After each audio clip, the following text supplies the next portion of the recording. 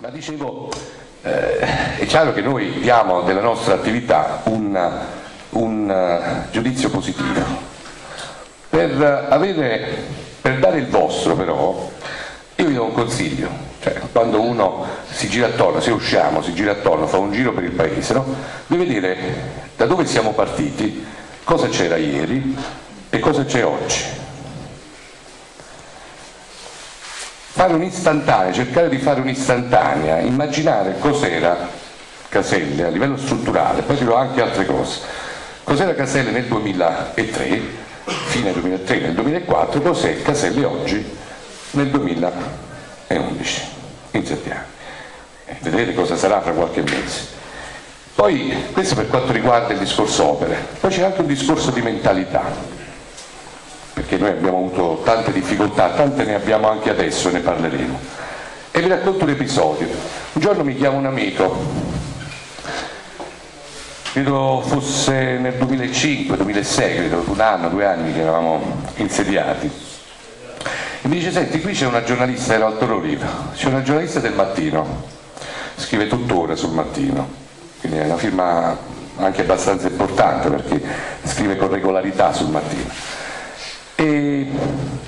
ho parlato di te, del tuo comune, lei è disponibile a fare un'intervista, un servizio sul casello. Era luglio, credo fosse luglio inoltrato, caldo enorme. Ricordo perché faceva caldo, io sotto molto quando fa caldo. Scendo al Torre Oliva, mi incontro con questa signora, mm, parliamo di caselle.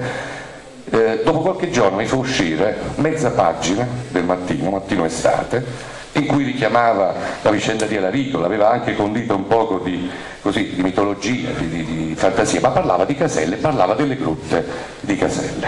È chiaro, io allora per le grutte non avevo fatto niente dopo un anno, però era un modo anche per far uscire Caselle sui giornali. Ebbene, qualcuno qui a Caselle, qualcuno qui a Caselle, evidentemente non so, non gli andava bene che, che il mattino dedicasse in un'appendice importante mezza pagina per il nostro comune eh, ebbe la brillante idea tramite un'associazione dei era insomma l'associazione ambientalista, di far uscire un altro articolo in cui si parlava delle grotte, eh, in senso negativo, dell'inquinamento, della diga, eccetera, eccetera. Questo secondo me rende l'idea. Hm? Di quali mentalità si sono sempre contrapposte qui a Casella. Cioè, io non dico che una comunità, una controparte politica debba necessariamente collaborare, il concetto di collaborazione è diverso dal concetto di essere consociativi, quello di dire vabbè io insomma faccio la pecorella, fai quello che dici tu, no, abbiamo sempre detto che cioè, voglio dire, una controparte politica, chi non ci vota, chi non ci apprezza, ha tutto il dovere, il diritto di mettere in risalto certe nostre deficienze. Ma quando esce un articolo sul giornale, su casetta, fatto in quel modo, e c'è qualcuno che ne fa uscire un altro dicendo no, non è vero, qua c'è l'altro così, quello così, insomma vuol dire che ha un atteggiamento, una mentalità distruttiva immaginando di averla nei confronti dell'amministrazione, di fatto lo ha, quella mentalità nei confronti della comunità. Io ho citato non a caso anche il discorso delle grotte, non a caso ho detto dove eravamo, dove siamo, dove andremo, perché dove eravamo? Noi abbiamo ereditato nel 2004 la situazione delle grotte, Maurizio parlava del flusso minimo vitale, è chiaro che non avere acqua corrente in un luogo così suggestivo come bello fa perdere a quel luogo il 50% minimo del, di bellezza se volessimo quantizzarla. Maurizio diceva abbiamo incontrato i vertici delle Power, abbiamo cercato di dialogare come abbiamo fatto con tutti, come io ho fatto con tutti, dal singolo cittadino alle associazioni alla controparte politica. Sì sì, fate il progetto, lo faremo, eh? a un certo punto sono scomparsi e allora diceva giustamente Maurizio adesso bisogna cambiare passo e bisogna adattarsi.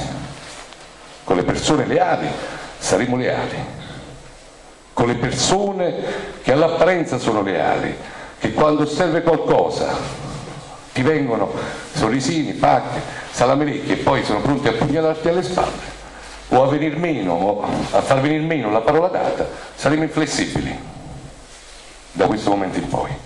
E allora Lady Pare va denunciata. Faremo una battaglia, l'abbiamo già detto al Presidente del Parco, l'ho detto nell'incontro all'onorevole Longo che è venuta qui a Caselle, che chiese il sostegno della Regione e della provincia, faremo una grande battaglia perché ci devono dare il deflusso minimo vitale nel, nel nostro fiume. Ma tornando al mio discorso, cosa abbiamo ereditato? Aveva dato una situazione disastrosa a livello della diga, c'era l'inquinamento di Bonomo, non c'era il flusso minimo vitale, un sentiero disastrato, non c'era niente, quando nella vicina Morigerati c'era l'Oasi WWF. Cioè c'era già un discorso turistico eh, avviato, avviato con eh, l'amministrazione Florenzano, presa poi da quella Delia, quindi con, io ricordo in un comizio dissi, si vedono gli autobus che, che passano, poi ritornano e nessuno di loro si ferma.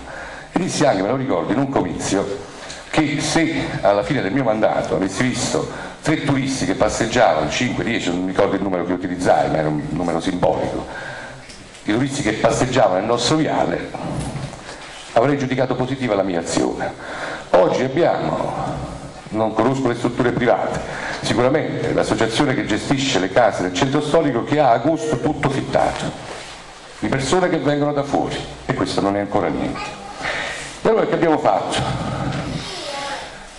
Abbiamo creato quello scempio, gli scempi ne abbiamo fatti tanti, come quello del parcheggio, oggi utilizzato, oggi, come disse quello dell'associazione camperistica che venne a Caselle, lo disse anche di fronte a testamenti della nostra minoranza, faceva i complimenti al parcheggio, diceva sì, no, questo è un fiore all'occhiello per il vostro comune. L'abbiamo realizzato, mi sono trovato a Teggiano qualche, qualche settimana fa, ne hanno realizzato uno simile nella piazza adiacente alla Curia, non so se c'erano alberi secolari lì, non lo so onestamente, però hanno realizzato quel parcheggio, noi l'abbiamo fatto, sono stati tagliati anche lì, ma forse non erano secolari come, come i nostri. Eh, ne hanno realizzato uno lì, un amico mi diceva una sera a Sapri, no scusate perché certe volte uno ha bisogno anche di sfogarsi, no?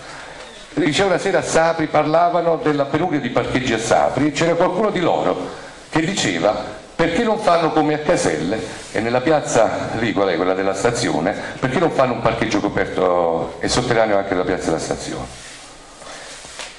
Dicevo lo scempio del, del parcheggio, lo scempio del centro didattico, non dell'infopoint. È chiaro chi è che non avrebbe voluto porre nemmeno una pietra lì, in quel luogo incontaminato, però bisogna capire che cosa vogliamo, come vogliamo fare il turismo noi come vogliamo fare in modo, visto che non mi sembra che da qualche parte ci sia il Colosseo o una torre pendente o chissà cos'altro, che modo noi dobbiamo attirare i turisti a Caselle? Certo, si mangia bene, la gente è cordiale, c'è ospitalità, ma sono, sono cose importanti, necessarie, paese è tranquillo, ma non credo che per quanto io ritengo il casellese il migliore di tutti, che eh, gente ugualmente cordiale, ospitale e dove si mangia bene non ce ne sia non solo nel comprensorio ma anche in altre parti d'Italia. E allora qualcosa dobbiamo inventarci per dire oh venite a Caselle perché c'è qualcosa di particolare. Ci inventiamo questo centro didattico, questo scatolone che doveva essere riempito.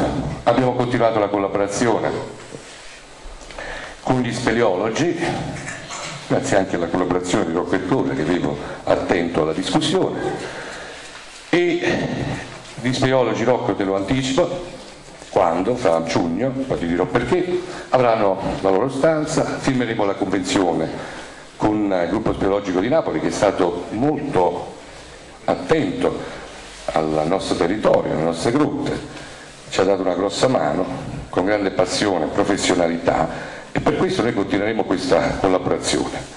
Ma la cosa più importante è la realizzazione che noi andremo a fare del museo multimediale in quella struttura.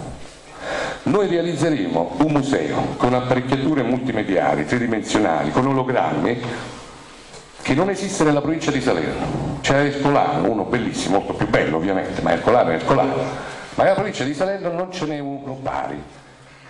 Vi voglio dire come lavoriamo. Lo ha saputo il parco,